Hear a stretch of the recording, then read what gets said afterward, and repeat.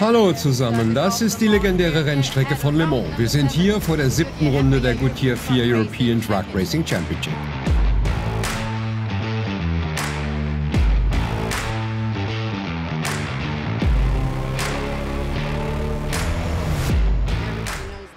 Jeder kennt diesen Namen, der Lokalmatador Theo Calvé. Alle Teams nutzen den nachhaltigen HVO-Diesel, natürlich auch Theo Calvé. Aber der Druck ist bei dir, Theo, nicht wahr? Dieses Wochenende haben wir ein bisschen Druck, äh, weil es ist mein Heimrennen. Die ganzen französischen Teams sind hier und ich bin der einzige französische Fahrer in der Europameisterschaft. Ich denke, es wird interessant. Ich schaue nach vorne und ich kann morgen kaum erwarten.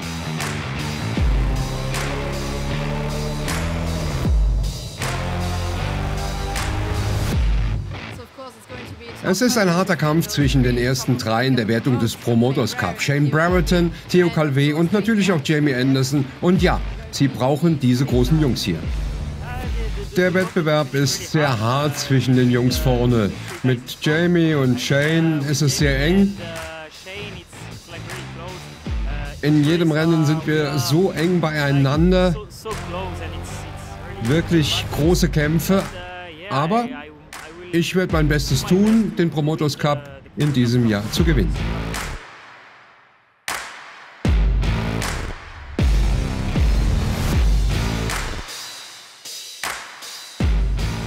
Also, bitte einschalten für dieses Live-Event. Das Fahrerlager ist bereit. Bist du es auch?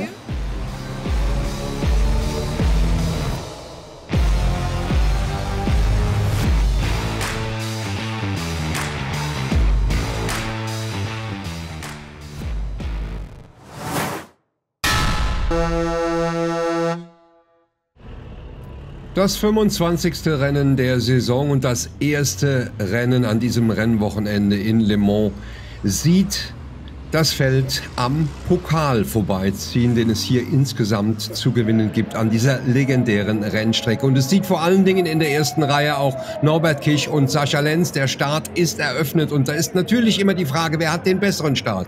Es geht durch die Dunlop-Kurve auf die erste Schikane zu auf die Dunlop-Schikane und Sascha Lenz kann das Tempo von Norbert Kisch mitgehen, ist neben ihm, dann muss er aber in der Linkskurve ein wenig zurückstecken und das ist der Moment, den Norbert Kisch nutzt, um nach vorne zu fahren und sich an die führende Position zu setzen. Hinter Sascha Lenz, Antonio Albacete und Jochen Hahn versucht direkt in diesem ersten Abschnitt Adam Latzko zu überholen, währenddessen André Kosim alle Chancen auf eine gute Platzierung in diesem ersten Rennen im Kies vergräbt. Kisch, Lenz, Albacete, Hahn, Adam Latzko. Das die Führenden, die relativ dicht hintereinander sind, währenddessen Norbert Kisch natürlich an diesem Wochenende auf der Mission ist, seinen im letzten Jahr errungenen Europameistertitel zu verteidigen. Und auch Steffen Faas wird kurz in eine Kollision verwickelt und muss in den Kies. Auch er ganz am Ende des Feldes. Jamie Anderson in den letzten Wochen überaus stark mit seinem MAN, knabbert an Theo Calvé und da sind wir bei dem Kampf um den Sieg im Promoters Cup in diesem Jahr. Jeder Punkt zählt und Jamie Anderson versucht natürlich jetzt hier Theo Calvé zu überholen, um mehr Punkte zu erhalten und somit den Führenden etwas dichter herankommen zu lassen. Heinrich Clemens Hecker gegen Steffen Faas und vor ihm Steffi Halm im Schwabentrack Iveco. Sie führt einen Viererzug an, dessen Ende von John Neville gebildet wird. Die Startnummer 18. Er ist Race-by-Race-Treiber hier in Le Mans und Heinrich Clemens Hecker im engen Kampf mit Steffi Halm und das wird noch Folgen haben, denn da war es dann doch sehr optimistisch, was Heinrich Clemens Hecker gemacht hat. Steffi Halm geht heraus. Hecker kann weiterfahren. Auch Steffi Halm fährt weiter, stellt aber letztendlich den weitwunden Iveco in der Box ab, um nicht noch mehr kaputt zu machen und um den Mechanikern die Möglichkeit zu geben, das Auto für das zweite Rennen wieder herzurichten. Norbert Kich zieht derweil seine Bahn und sieht auch in diesem ersten Rennen in Le Mans als erster das schwarz-weiß karierte Tuch ein weiterer Sieg in der Saison für Norbert Kich. Sascha Lenz wird Zweiter. Antonio Albacete stellt den T-Sport Bernau MAN auf den dritten Platz.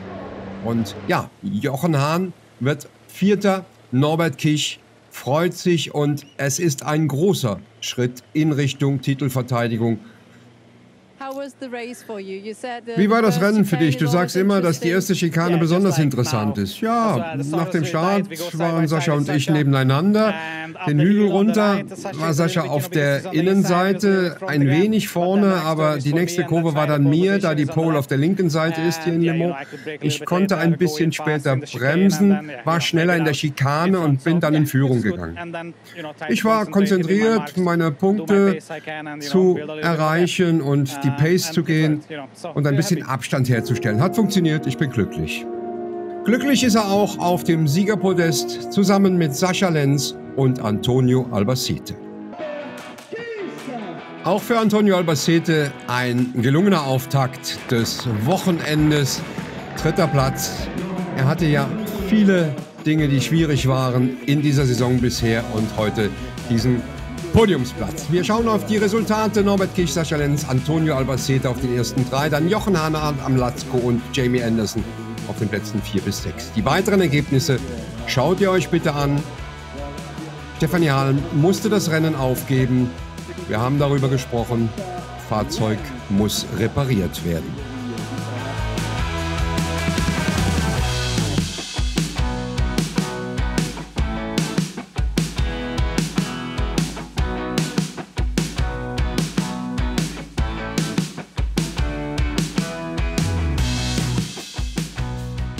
Kosim. Äh, Lucky André Kosim, glücklicher Polesetter. Aber am Ende ist es doch egal, wie man hierher gekommen ist, oder? Finally, it is, doesn't matter how to get to the pole, isn't it? Yes, uh ja, ist es. José hat eine Strafe bekommen und wir sind in Pole Position im zweiten Rennen. Ich hoffe, wir können ein schönes Podium machen. Wir werden sehen.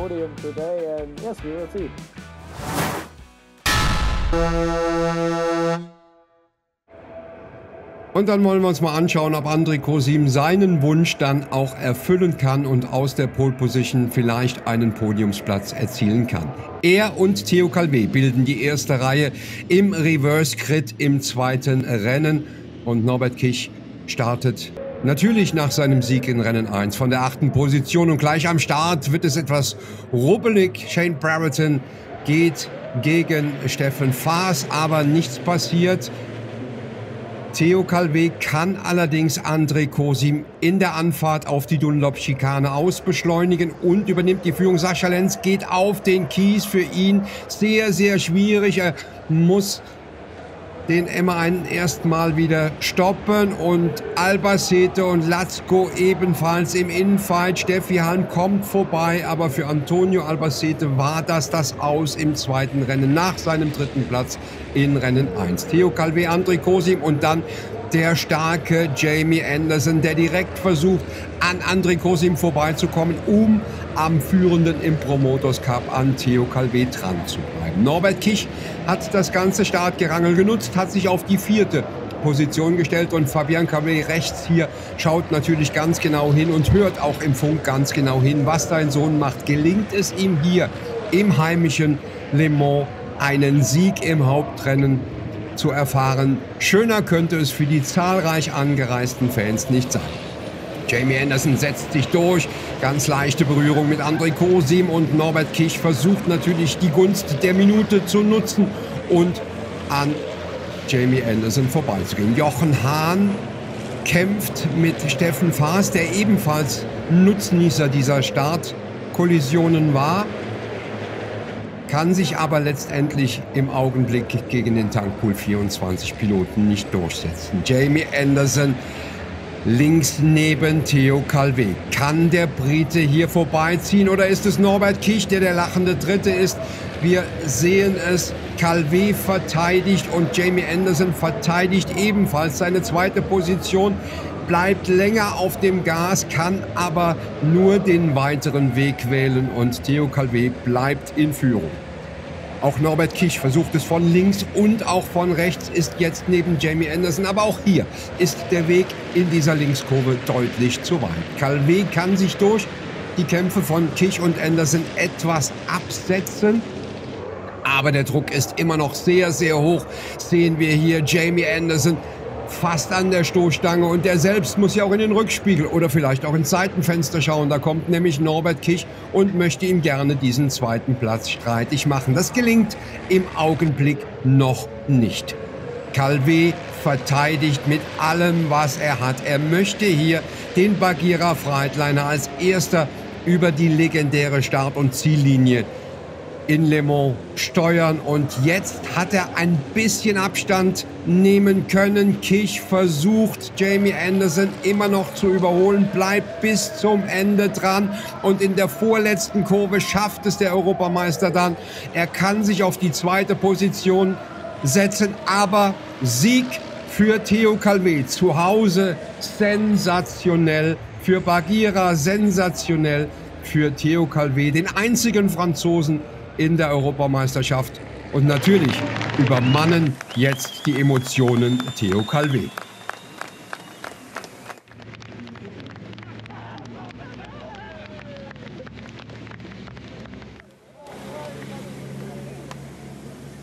Auch Papa Fabien herzt ihn nach diesem Sieg. Ich habe keine Worte. Es ist unglaublich für die ganze Crew. Es, es ist toll. Ich bin so glücklich. Ich habe ein gutes Rennen gemacht. Es war so hart. Ich musste ein wenig kämpfen. Ich habe es uh, gehalten und gewonnen. Ich bin so glücklich.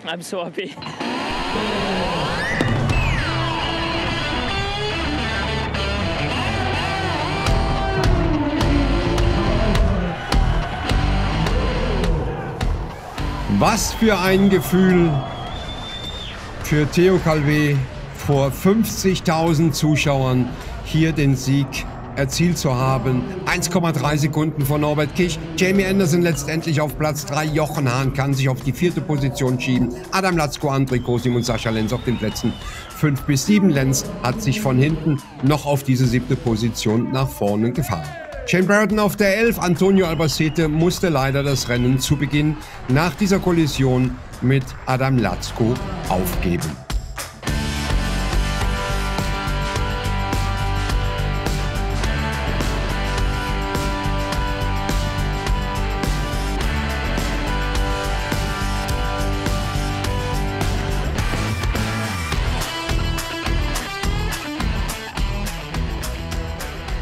Es ist ein fantastisches Wochenende hier in Le Mans und das mündet auch in einer nächtlichen LKW-Parade mit den Showtrucks, mit den Lichtern. 70.000 Fans sind am gesamten Wochenende hier und feiern den Trucksport auch mit einem großen Bodenfeuerwerk. Und wir schauen uns natürlich jetzt auch mal an, was der Sonntag noch so parat hat. Matchball für Norbert Kich. Pole Position nach seiner 13. Superpole. Neben ihm Jochen Hahn. Und Jochen Hahn ist im Prinzip der Einzige, der ihn noch vom neuerlichen Europameistertitel abhalten kann. Dafür muss ihm aber der Start gelingen. Wir sehen, Norbert Kisch hat stehende Räder. Jochen Hahn kommt deutlich besser weg als der amtierende Europameister, kann sich in die führende Position setzen. Dahinter ist es wieder Jamie Anderson, der diesen dritten Platz innehat. Der gibt wirklich auch alles, um im Promoters Cup an Theo Calvé heranzukommen. Hahn hat die Schikane für sich entschieden. Kisch auf zwei, Anderson auf drei und dann haben wir diese Reihung auch in der Abfahrt auf La Chapelle. Wir sehen Heinrich Clemens Hecker und John Newell im Infight. Hecker kann weiterfahren, Newell zunächst im Kies, aber auch er setzt dann die Fahrt fort. Und Jochen Hahn steht unter enormem Druck, der Start Nummer 1. Und ja, der sechsfache Europameister, er hat die Erfahrung, er kann diesem Druck standhalten. Es wäre nicht das erste Rennen, dass er von vorne gewinnen würde, auch mit Druck. Aber Norbert Kich gibt natürlich nicht auf. Auch dieser zweite Platz würde ihm reichen, seinen Titel zu verteidigen. Er greift aber jetzt Jochen Hahn an außen. Das geht nicht. Der Knorrbremse Iveco bleibt weiter in Führung. Das übrige Feld hat sich sortiert und jetzt kommt Norbert Kich Mit einem kleinen Fehler hat ihm Jochen Hahn die Tür aufgemacht und Kich geht in Führung, setzt sich an die Spitze. Hahn versucht nochmal zu kontern, aber letztendlich sagt der sechsfache Europameister, okay, dann lass ich ihn fahren, fahr du dein Rennen, ich fahre mein Rennen. Das waren die Worte von Jochen Hahn nach dem Rennen. Jamie Anderson auf der dritten Position. Wieder ein Podestplatz für den Briten, Fragezeichen. Adam Latzko hat da etwas dagegen und Sascha Lenz natürlich auch. Der muss auch nach vorne. Für ihn gilt es, den Kampf um den Vize-Europameistertitel aufrecht zu erhalten. Deshalb darf er in diesem Rennen 3 nicht zu viele Punkte auf seinen größten Widersacher, auf den momentan Tabellenzweiten Jochen Hahn verlieren. Und Norbert Kich setzt sich ab mit Riesenschritten auf dem Weg zum vierten Europameistertitel 2015, 2016, 2021 und jetzt auch 2022 ist er der Europameister der Goodyear 4 European Truck Racing Championship. Norbert Kich und das Revesh-Team. Und die Jungs sind natürlich mega glücklich über diesen Sieg und die vorzeitige Europameisterschaft. Und da gibt es natürlich auch ein langes Küsschen. You did it again. Du hast es wieder gemacht. Congratulations. Herzlichen Glückwunsch. Wie wir haben es wieder gemacht. Mit diesen Jungs. Ja, es ist der Job, aber was die gemacht haben, das ist fantastisch. Und das macht meinen Job natürlich leichter. Thank you very much. Thank you. And um, yeah, Reves Racing hat einen a fantastischen Job gemacht. Ein super Auto hingestellt, das auf jeder Strecke funktioniert hat. Wir wurden immer schneller und ich wünsche, ich hätte nicht solche Fehler gemacht wie heute hier am Start.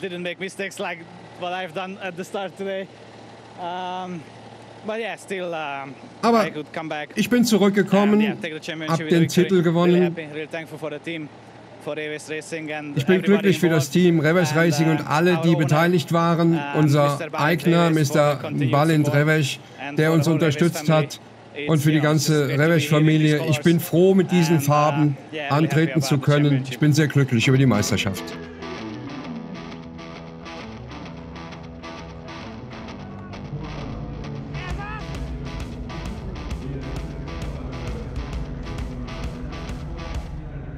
Und das Championship Race für Norbert Kisch nochmal im Überblick. Vierter Europameisterschaftstitel. Jochen Hahn letztendlich 8,5 Sekunden hinter dem alten und neuen Europameister. Das war das Meisterstück des Ungarn hier in Le Mans.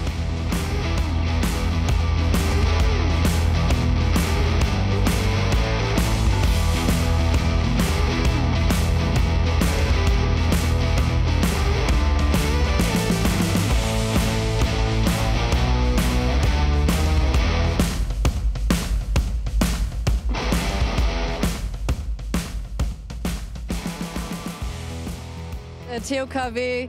Theo du stehst hier in der ersten Reihe. Das letzte Rennen dieses. Wochenende, eine gute Chance, noch einmal das Podium zu erreichen. Wie aufgeregt bist du vor diesem letzten Rennen auf deinem heimischen Boden? Ah, wie du gesagt hast, es ist das letzte Rennen hier in Frankreich für dieses Jahr. Ich gebe mein Bestes und würde es gerne wieder so machen wie gestern. Ich bin super aufgeregt für das Rennen. Gestern war fantastisch und ich hoffe, das wird heute wieder so.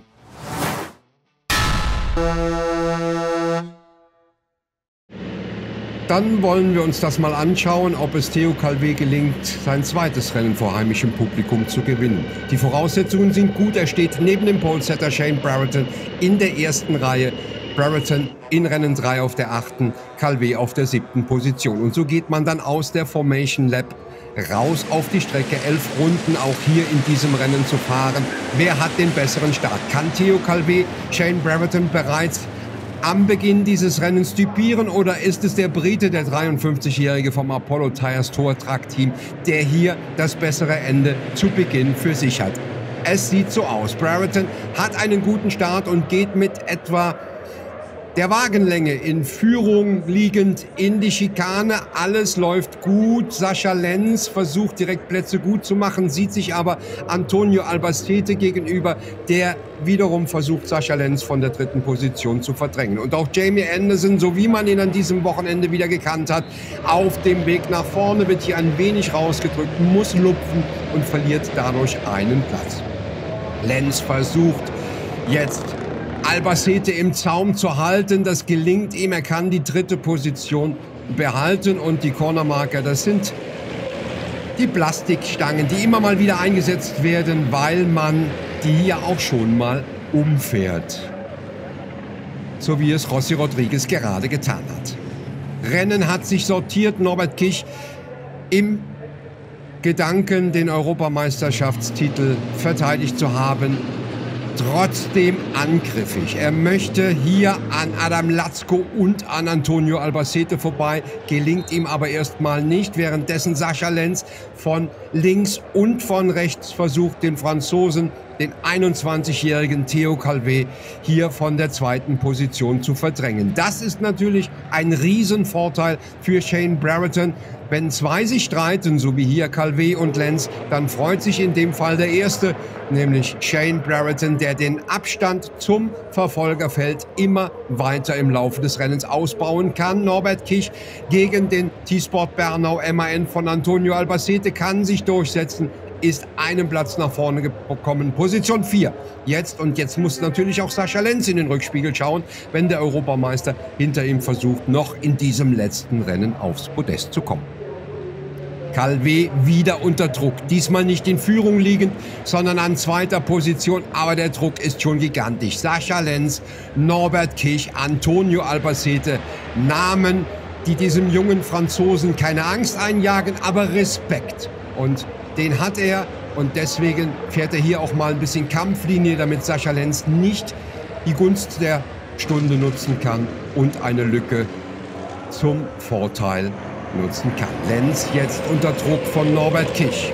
Auch Albacete ist wieder dran. Aber Shane Brereton gewinnt. Calvé wird Zweiter und Sascha Lenz kommt mit seinem zweiten Podium an diesem Wochenende auf die dritte Position. Shane Brereton mit seinem insgesamt dritten Sieg in seiner Europameisterschaftskarriere das war ein schönes Erfolgserlebnis für Shane Brereton und das Team, die auch in den letzten Wochen richtig Probleme hatten. Und das feiert man natürlich bei den Briten. Wie stolz und glücklich bist du nach diesem Sieg? Ja, es ist klasse. Ich habe ein Problem gehabt, aber ich war vorne und konnte es genießen. Es war gut. Ich hatte ein paar Reifenprobleme, aber das konnte ich kontrollieren, stetig, bis zum Schluss. Theo war ganz Gentleman am Start, er blieb neben mir und dann hinter mir. Von dem Kampf hinten habe ich nicht viel mitbekommen, aber als wir die Gerade runtergekommen sind, da habe ich das auf dem großen Bildschirm gesehen. Ich konnte stetig wegfahren, alles in Ordnung. Ja, Shane Brereton mit seinem dritten Sieg, Theo Calvi wieder Podium und auch Jamie Anderson hat nochmal den dritten Platz belegt. Nach den offiziellen Fotos kommen wir dann nochmal kurz zu den Resultaten des vierten Rennens. Shane Brereton, Theo Calvi, Sascha Lenz, der neue Europameister Norbert Kich auf der vierten Position. Adam Latzko auf sieben, Jochen Hahn letztendlich auf der achten Position. Und auch Steffi Halm konnte sich dann noch auf die neun verbessern. In der Meisterschaft. 359 Punkte für Norbert Kich. Europameister Jochen Hahn auf der 2 hat 12 Punkte Vorsprung auf Sascha Lenz. Und im Promoters Cup Theo Calvi, Jamie Anderson und Shane Brereton in Jarama geht es um den Promoters Cup zwischen Theo Calvi und Jamie Anderson. Es war ein Wochenende der Superlative hier in Le Mans, aber es geht schon weiter. Back to back. Es geht sofort runter nach Spanien, nach Jarama. Dort ist das nächste Rennen und ich hoffe, ihr seid dann wieder mit dabei. Tragsport at its best in Jarama am 1. und 2. Oktober.